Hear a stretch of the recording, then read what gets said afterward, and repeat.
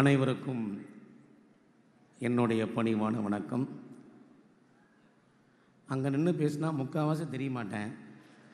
அதனால தான் இங்கே நின்று பேசிட்டேன்.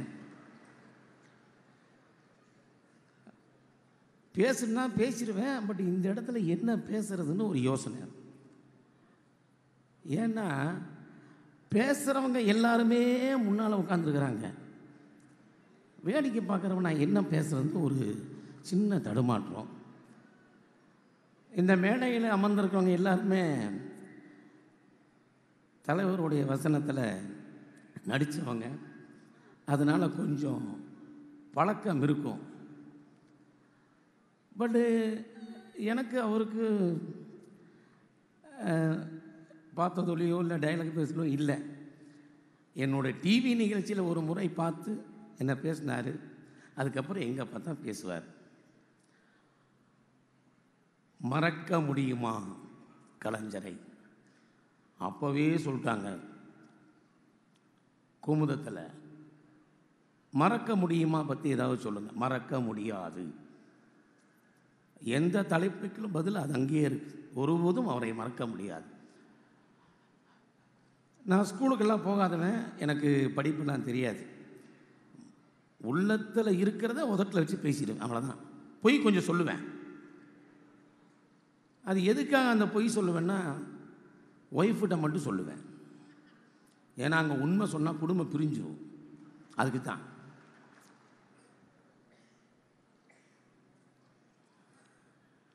டாக்டர் கலைஞர் அவர்கள் அவரை பற்றி ஒரு சில வார்த்தைகள். பதினாலு வயசுலேயோ பதினஞ்சு வயசுலேயோ அரசியலில் நுழைஞ்சி அதோடைய அனுபவம் எண்பது வயது. ஐம்பது வருஷமாக அந்த கட்சியோட தலைவர். பதிமூணு முறை எம்எல்ஏ ஐந்து முறை சிஎம். இதை எல்லாத்தை விட முதல் மகன் இளைய மகன் முதல் மகள் இளைய மகள் பேரன் கொள்ளு பேரன் எள்ளு பேரன். இவங்க அத்தனை பேர்த்துக்கிட்ட சுதந்திரமாக விளையாடின ஒரு அற்புதமான குடும்பத் தலைவர் திரு கலைஞர் அவர்கள். அந்த ஒரு விஷயம் எவருக்குமே கிடைக்காது. அப்படியே கிடைச்சிருந்தாலும் அதில் சுகம் இருக்காது. இவரை பற்றி நம்ம எப்படி சொல்கிறது இப்போ ராஜேஷ் நான் சொன்ன மாதிரி எல்லா துறையிலையுமே ஒரு சூப்பர் இல்லையா? நகைச்சுவை அப்படின்னு எடுத்துக்கங்களேன். என்எஸ்கே நடித்த படத்துலையும் பார்த்துருப்பார். இப்போ நடிக்கிற நகைச்சுவை நடிகரையும் பார்த்துருப்பாரு விவேக் சார் வரைக்கும். அப்படி போயிடும் யார் என்ன கேள்வி எப்போ கேட்டாலும் பட்டு பட்டுன்னு பதில். நேமக சக்தி. இதெல்லாம் அவரை மாதிரி யாருக்கும் கிடையாது. எம்ஆர் ராதா ஐயாவும் கலைஞர் ஐயாவும் ரெண்டு பேரும் பேசிக்கிட்டாங்களாம். என்ன இவ்வளோ படம் பண்ணுறியே ஏதாவது சேர்த்தி வச்சிருக்கியா அப்படின்னு கலைஞர் ஐயா வந்து எம்ஆர் அதாவை பார்த்து கேட்டதா ஒரு கேள்வி. அதுக்கு எம்ஆர் அதா சொன்னாராம் சம்பாரித்த காசெல்லாம் மண்ணாக போச்சு அப்படின்ட்டு. அதுக்கு உடனே கலைஞர் ஐயா அப்போ நிறையா லேண்டு வாங்கியிருக்கேன்னு சொல்லு. நகைச்சுவைகள் வந்து டப்பு டப்புன்னு. விவேக் சார் வந்து தன்னுடைய பிறந்த நாள் அதுக்காக ஆசீர்வாதம் வாங்கிறதுக்காக கலைஞர் ஐயா வீட்டுக்கு போயிருக்கார். வாயா விவேக்கு நல்லா இருக்கியா? நல்லா இருக்கேன்ப்பா. என்ன? பிறந்தநாள் எனக்கு ஆசீர்வாதம் பண்ணுங்க. எத்தனாவது பிறந்தநாள்? இத்தனாவது பிறந்த நாள்னு சொல்லியிருக்காருன்னு வச்சு ஒரு அதுக்கு ஐம்பது அப்படி வச்சுக்கோமே. அதுக்கு அவர் சொன்ன வார்த்தை என்கிட்டயாவது உண்மையை சொல்லக்கூடாதா? நான் பிறந்தநாள்னு போன ஆசீர்வாதம்னா நல்லா இருக்கு என்கிட்டயாவது உண்மையை சொல்லக்கூடாதா? இது ஒரு ஒத்த வார்த்தை. எத்தனை கருத்துக்கள் அதனால இவரை பற்றி பேசுவதே பெருமை. அதுதான் அதாவது இந்த மேடையில் பராசக்தி படம் வரும்போது எங்கள் அம்மா யார் எங்கள் அப்பா யாருன்னு தெரியாது. ஏன்னா ஐம்பத்தி ரெண்டு நான் பிறக்கவே இல்லை. ஆனால் அவரை பற்றி பேசுகிறதுக்கு இந்த கோயமுத்தூரில் இந்த மண் இடம் கொடுத்துருக்காங்கன்னா உண்மையிலேயே கலைஞர் என் மேல் மதித்து வைத்திருக்கிறார் நான் அவரை மைத்திருக்கிறேன் தான் நினைக்கிறேன். எனக்கு அவருக்கு என்ன லிங்க்கு அவர் சம்மந்தப்பட்ட படம் பார்த்தனா இல்லை கட்சியில் உறுப்பினராக இருந்தனா இல்லை கட்சியில் உறுப்பினருக்கு நெருங்கி நம்மளை சேர்ந்து பழகினா அப்படிலாம் கிடையவே கிடையாது. சம்மந்தமே இல்லை. காமெடி டைம் நிகழ்ச்சியை பார்த்துட்டு உடனே என்னை பார்த்தோன்னே வாயா எந்த ஊர்? ஐயா கோயம்புத்தூர். நல்லா பேசுகிறேன் ஐயா டெய்லி உன்னை பார்த்துட்டு சிரிச்சிட்டு தூங்குறேன். இது ஒன்று தான் நான் சம்பாரிச்சது அவர்கிட்ட அந்த மனிதர் என்னை பார்த்து சொன்ன வார்த்தை. இதை விட வேறு என்ன வேணும்? பட் இதெல்லாம் இருக்கட்டும். இதெல்லாம் ஒரு ரெண்டாயிரத்தில். நான் மிமிக்ரி ஸ்டேஜில் பண்ணும்போது எல்லாரும் வெயிட் பண்ணுவாங்க. மயில்சாமி மிமிக்ரிக்குன்னே வெயிட் பண்ணுவாங்க. இது நான் சொன்னால் நல்லா இருக்காது வேறு யாரும் சொல்லணும். அந்த நேரத்தில் எந்த வாய்ஸ் நான் பேசினாலும் பர்ஃபெக்ஷன் கரெக்டாக இருக்கும். அது எம்ஜிஆர் வாய்ஸ் அவ்வளோ பர்ஃபெக்ஷனாக இருக்கும். அப்போ என்னுடைய ஃப்ரெண்ட்ஸுங்க ஒரு பத்து பேர். அதில் ஒரு மூணு பேர் வந்து மாற்றுக்கட்சி ஏழு பேர் திமுக. ஆனால் பத்து பேருமே சினிமா பார்க்குறதுல ரொம்ப இது எம்ஜிஆரோட ரசிகர்கள். அப்போ நான் ஒவ்வொரு நிகழ்ச்சிக்கு போயிட்டு மிமிக்ரி எல்லாம் பண்ணிட்டு வரும்போது அந்த நண்பர்கள் சொல்லுவாங்க எல்லா வாய்ஸு பேசுகிற எங்கள் கலைஞர் ஐயா மாதிரி நீ பேச மாட்டாங்கிறியண்ணா இல்லை இதுவும் ரொம்ப கஷ்டமாக இருக்குண்ணே ட்ரை பண்ணுமா அவர் மாதிரி கற்றுக்க அவர் மாதிரி பேசிக்க அப்படின்னாங்க. இது வரைக்கும் நான் அவர் பேசுகிறது நான் எங்கேயுமே கேட்டதில்லை. இப்போ இல்லை நான் சொல்கிறது எண்பத்தி நாலில். இப்போ எனக்கு ஒரு ஆசை. சரி எல்லா ஸ்டேஜ்லேயும் கலைஞரும் கலைஞரும் கத்துறாங்க. அவர் மாதிரி பேசுவோம். அவர் எப்படி பேசுவார்? இதை தெரிஞ்சுக்கிறதுக்காக வடபழனியில் சிங்கார வேலை திடல் அப்படின்னு ஒரு இடம். அதில் தான் மீட்டிங்கு. கிட்டத்தட்ட இந்த மாதிரி மேடை இந்த கடைசியில் நிற்கிறாங்க பாருங்கள் அந்த மாதிரி கூட்டத்தில் நான் நிற்கிறேன் எல்லாரும் பேசுகிறாங்க ஒரே கைத்தட்டு. அது பொதுவாக திமுக சம்மந்தப்பட்ட தொண்டர்களும் சரி மேல்மட்டக்காரங்களும் சரி மந்திரிகளும் சரி எம்எல்ஏயும் சரி பிரமாதமாக பேசுவாங்கங்கிறது எல்லாத்துக்கும் தெரியும். இது எல்லாத்துக்கும் தலைன்னு ஒன்று இருக்குல்ல அவர் எப்படி பேசுவாருங்கிறத நான் பார்க்க போயிருக்கேன். இப்போ பேசிட்டே இருக்கும்போது நீங்கள் எல்லாம் மாவளுடன் எதிர்பார்த்து கொண்டிருக்கும் நிறையா வரி. பெரியாரின் சிஷியன் அண்ணாவின் தம்பி திராவிட தலைவர் திமுக தலைவர் என்னென்னமோ சொல்லி டாக்டர் கலைஞர் அவர்கள் அப்படின்னு சொன்னால் ஒரே கைத்தட்டு. உங்களிடம் உரையாடுவார். இப்போ உரையாடுவார்னு சொன்ன உடனே ஜனங்க செட் ஆகுறாங்க. ஆ நம்ம ஆள் பேசுகிறார் நம்ம ஆள் பேசுகிறார் அதே கேப்பில் பேசக்கூடிய கலைஞரையா அவர்களும் செட் ஆகிறார். மேடையில் மைக்கெல்லாம் எடுத்து வைக்கிறாங்க. இப்படி தட்டுறார். எண்பத்தி நாலில் என்ன பேச போகிறாருன்னு கேட்குறேன் அன்பார்ந்த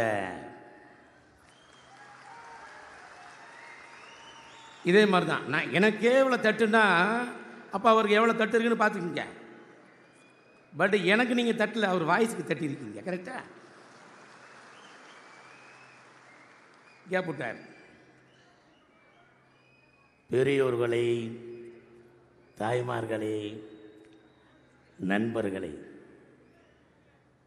என் உயிரினில் மேலான அன்பு உடன்பிறப்புகளே. தட்டுறாங்க தட்டுறாங்க தட்டுறாங்க தட்டிக்கிட்டே இருக்காங்க. என்ன வரி அந்த வரி? ஓகே கேட்டாச்சு பேசியாச்சு அதுக்கப்புறம் எல்லாம் அவர் பேசுகிற வார்த்தைகள் நம்மளுக்கு அது எப்படிங்கிறது ஒன்றும் புரியுது என் பசங்க ஃப்ரெண்ட்ஸ் எல்லாம் சொல்லிட்டாங்க நீ வந்து அடுத்த மேடையில் நீ கலைஞர் மாதிரி பேசுகிற அப்படின்னு. நைட்டோட நைட்டாக ரூமில் உட்காந்துட்டு அப்போல்லாம் டேப் கேட்டது அந்த இது ஆடியோ அந்த இதாக இருக்குது அதெல்லாம். எல்லாம் போட்டு கலெக்ஷன் பண்ணி கேட்டு அன்னைக்கு முடியல. ரெண்டு நாளுக்கு அப்புறம் அதே மாதிரி. அவரை மாதிரி பேசி ரூம் கேட்டுக்கிறேன். அதில் பளிச்சுன்னு ஜனங்களுக்கு பிடிச்ச வார்த்தை இதுதான். என் உயிரின் மேலான அன்பு உடன்பிறப்பு கடை அப்படின்னு. பேசியாச்சு பேசியாச்சு. எல்லாம் கற்றுக்கிட்டுங்க வாய்ஸ் பிரமாதமாக வந்துருச்சுங்க. ஆனால் எங்கேயும் பேச முடியலைங்க. ஏன் தெரியுமா?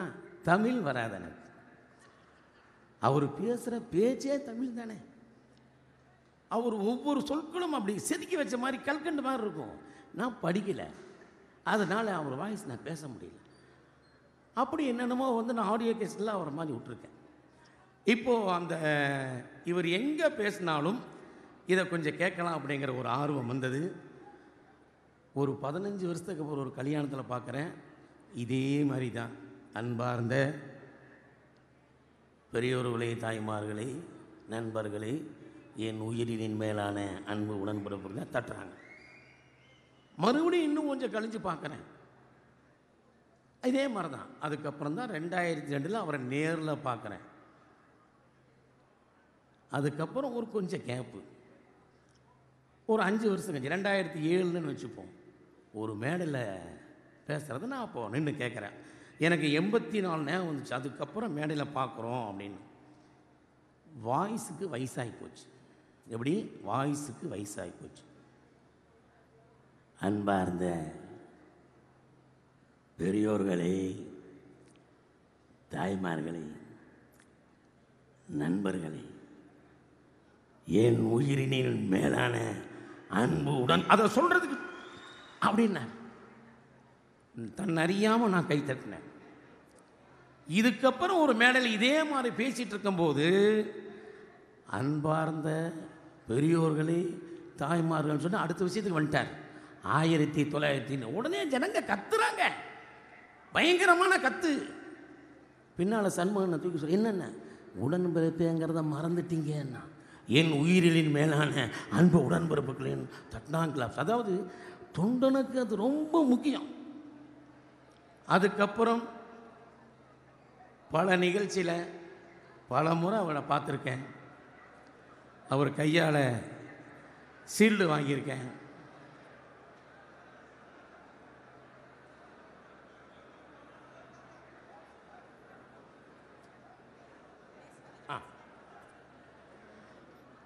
இப்படியெல்லாம் சீல்டெல்லாம் வாங்கி அவள் கொஞ்சம் எங்கேயாவது மேடையில் போய் வாயா அப்படிங்கிற அளவுக்கு பழக்கமாகி போச்சு. நானும் பேர் சொல்லுவேன் மயில்சாமியான எத்தனை ரூபியா சொல்லுவேன்? அப்படிங்கிற அளவுக்கு பழக்கமாகி போச்சு. அதுக்கப்புறம் ஒரு இரண்டு மாதங்களுக்கு முன்பாக என் குடும்பத்தோடு அவர் போய் பார்த்தோம். ஆசைப்பட்டோம் சந்தோஷப்பட்டோம் பார்த்துட்டு வந்துட்டோம். அதுக்கப்புறம் உடம்பு சரியில்லை. அப்படின்னு ஹாஸ்பிட்டலில். சேர்த்துனாங்க இப்போ ஒரு முப்பது நாளுக்கு முன்னால்.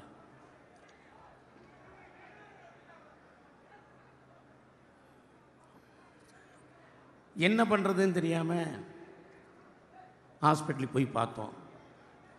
நான் மட்டும் இல்லை எல்லாருமே தொண்டர்கள். செல்வி அக்கா பார்க்கும்போது ஒரு வார்த்தை சொன்னாங்க. வீட்டிலிருந்து அவர் படிக்கட்டில் இறக்கும்போது பல்ஸ் இருபத்தி ரெண்டு ஆனால் ஹாஸ்பிட்டலுக்கு போய் சேர்த்துன உடனே நார்மல் ஆகிட்டார் என்னன்னு தெரியல அப்படின்னு. அதுக்கு காரணம் என்ன தெரியுமா?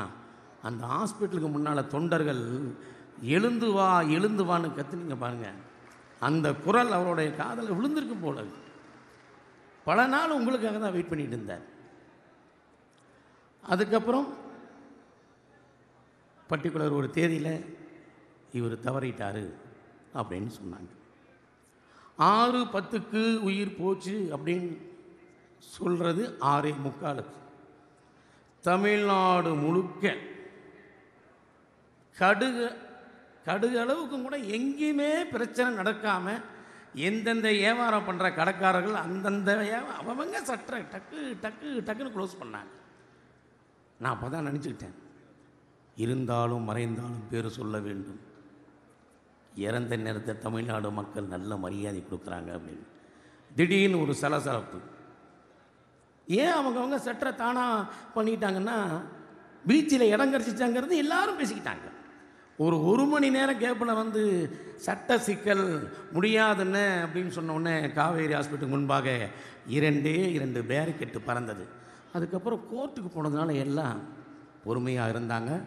பொறுமையாக இருந்தால் வெற்றி நிச்சயம் அப்படிங்கிற மாதிரி மறுநாள் காலையில் பதினோரு மணி லெவலில் அது தீர்ப்பு வந்து உண்மையானவங்களுக்கு கிடச்சிருச்சு. அது எல்லாத்துக்கும் சந்தோஷம். அதாவது பேரன் அழுகிறத பார்க்கலாம். ஆனால் அவரே அழுகிறத யாராவது பார்க்க முடியுமா? பேச முடியும் பாருங்க. பதினோரு மணிக்கு அந்த ராஜாஜி மண்டபத்தில் படிக்கட்டில் நின்று கையெடுத்து கும்பிட்டு அவர் கண்ணீர் விட்ட ஒரே ஒரு காரணத்தில் எத்தனை தொண்டன் எங்கெங்க இருக்கிறானோ தொண்டனுக்கு மீறி அப்பால்பட்டவன்.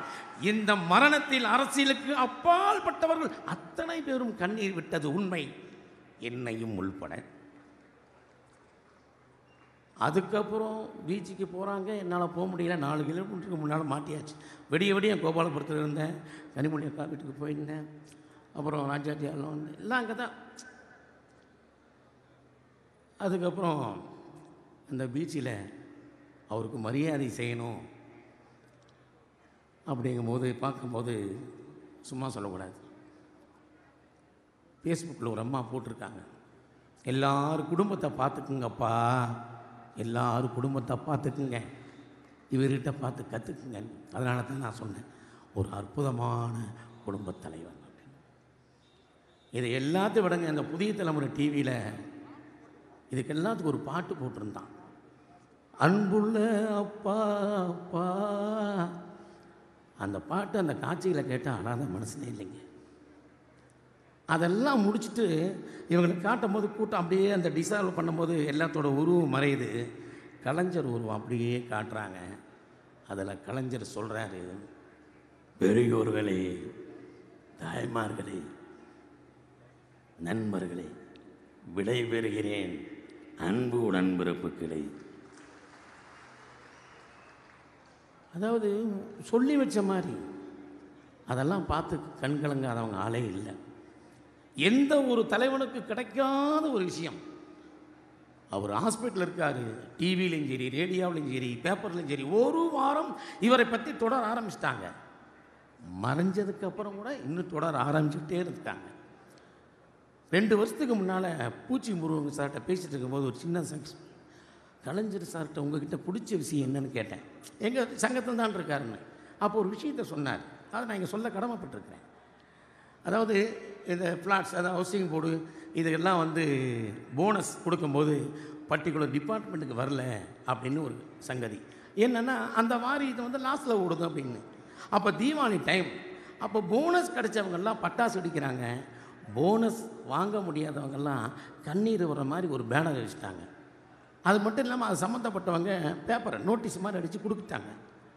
கட் பண்ணால் அது சம்மந்தப்பட்டவங்களை கூப்பிட்டாங்களாம் என்னதுன்னாங்க. சார் அந்த மாதிரி ஆகிப்போச்சுங்க என்னையா கண்கலங்கிற மாதிரி போஸ்ட் அடிச்சிருக்கீங்க? அது குழந்தைங்க தீபாவளி தீமா எவ்வளோயா போனஸு கொடுக்க உடனே கொடுங்கயா உடனே கொடுங்க அப்படின்ட்டார். இது எதுக்கு சொல்கிறேன்னா போஸ்ட்டில் ரெண்டு சொட்டு கண்ணீர் விட்டதுக்கே போனஸ் கொடுத்த நீங்கள் இப்போ நீங்கள்லாம் விட்டுட்டு போய் இத்தனை பேர்த்த கண்ணீரில் மிதக்க வச்சுருக்கீங்களே? இது எந்த விதத்தில் நியாயம்? இளைஞர் ஐயா அவர்களை நீங்கள் இந்த மண்ணை விட்டு போகலாம். இங்கே உள்ள மனுஷங்களோட இதயத்தை விட்டு உங்களால் யாராலையும் போகவே முடியாது. அதுக்கு மறு உருவமாகத்தான் திரு ஸ்டாலின் ஐயா அவர்கள் முன்னால் உட்கார்ந்துருக்கிறார். இந்த மேடையில் எனக்கு வாய்ப்பளித்த மன்ன முதல்ல முதல்ல ஃபோன் பண்ணி உதயநிதி ஸ்டாலின் அவர்கள் ஃபோன் பண்ணி நீங்கள் வரணுன்னாரு அப்புறம் ஏமாவல் வரணுன்னாரு இதுக்கு எல்லாமே நல்ல பழக்கம்தான். நான் இங்கே மேடை பேசுகிறதுக்கு முக்கிய காரணம் திருவண்ணாமலை ஸ்ரீதர் பிச்சாண்டி அவர்கள். ஏன்னா அப்போல்லாம் அவங்ககிட்ட அந்த கோயில் நிறைய பழக்கம் இருக்கும். அவருடைய ஆத்மா சாந்தியடை நான் வணங்கும் இறைவன்கிட்ட வேண்டிப்பேன். நன்றி வணக்கம்.